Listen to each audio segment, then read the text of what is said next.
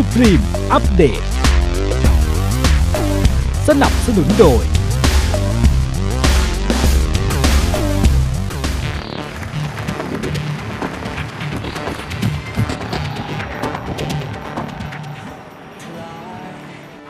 นที่สุดทัพลูกยางสาวสุพรีมชลบุรีอีเทคก็เอาตัวรอดได้สำเร็จ ในการแข่งขันวอลเลย์บอลไทยแลนด์ลีกนัดที่ 9 เมื่อช่วงสุดสัปดาห์ที่ผ่านมา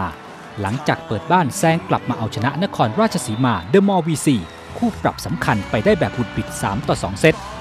เปิดฉากเซตแรกสุพรีมเป็นฝ่ายเก็บชัยได้แบบไม่ยากนัก แต่ว่าเซตที่ 2 และ 3 สถานการณ์กลับพลิกเป็นสาวโคราช ระเบิดฟอร์มเก่งไล่ตบเอาชนะไป 2 เซตรวด พลิกขึ้นนำเจ้าถิ่นแบบเหนือความคาดหมาย รวมทั้งยังเป็นเกมแรกในฤดูกาลนี้ ที่สามารถเอาชนะสุพรีมได้มากกว่า 1 เซต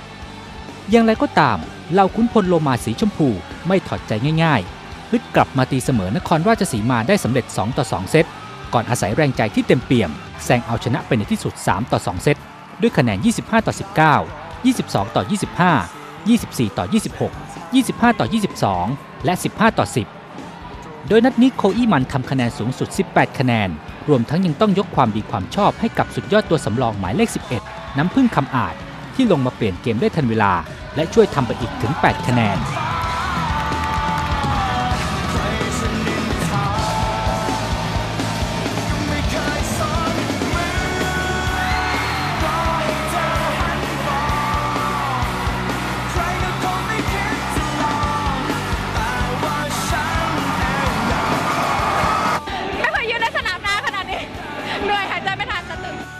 ถึงเกมวันนี้หน่อยตื่นเต้นเอาเราค่อนข้างจะหนืดๆในช่วงแรก ก็เลยรู้สึกตีไปแล้วเขาเก็บได้เขาบล็อกได้แล้วเราเพิ่งจะมาเราเขาเรียกอะไรพอยังไงเขาตีกลับมาแล้วเรารับไม่ได้หลังๆเราเริ่มปรับเริ่มบล็อกได้ พูดพูดถึงตัวเองวันนี้หน่อยว่าตัวเองเล่นเป็นยังไงบ้างคะฟุกก็คือเขาน่าจะจับทางไม่ถูกมากกว่าเพราะว่าอย่างปาตูเขาน่าจะซ้อมปาตูมาเขาไม่น่าจะซ้อมนี่ก็เลยคิดว่าเ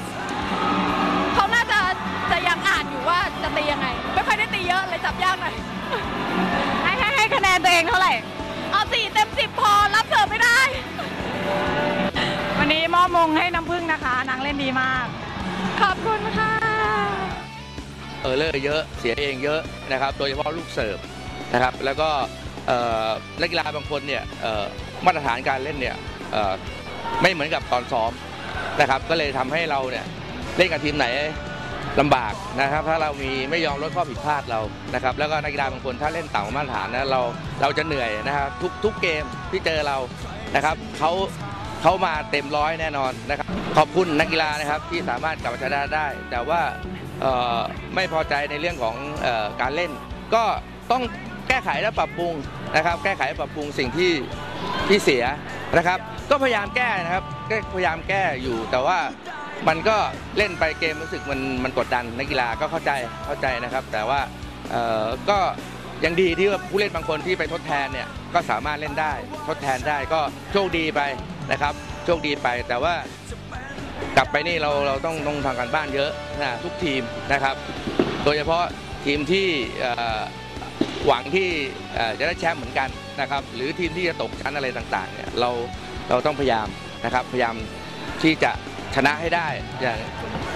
ต้อง3นะครับสามคะแนนนะครับถ้าเราได้ 2 แล้วเราเราจะลำบากนะครับ ตรงนี้ก็ก็ฝากนะแฟนสุพีมชมรีเทคนะครับมาเชียร์กันเยอะๆนะครับ แล้วก็ที่อยู่ทางบ้านนะครับ ช่วยเชียร์พวกเรา จากชัยชนะเหนือนครราชสีมา ส่งผลให้สาวสุพรีมยังคงนั่งตำแหน่งจ่าฝูง และรักษาสถิติไร้พ่ายต่อไปอีกหนึ่งสัปดาห์ ด้วยผลงานลงสนาม 9 นัด ชนะรวด 9 นัด เก็บได้ 26 คะแนน ตามมาด้วยอันดับที่ 2 แชมป์เก่าบางกอกกลาสชนะ 8 นัด แพ้ 1 นัดเก็บได้ 24 คะแนน โปรแกรมนัดต่อไปสุพรีมชนบุรีอีเทคจะบุกไปเยือน RSU VC ณอาคารนันทนาการมหาวิทยาลัยรังสิตในวันเสาร์ที่ 4 กุมภาพันธ์ เริ่มแข่งขันเวลา 15นาฬิกา30 นาที ถ่ายทอดสดผ่านทาง True Sport 6 คล้ายรอทะเลเปลี่ยนสี เส้นทางนี้ ตรง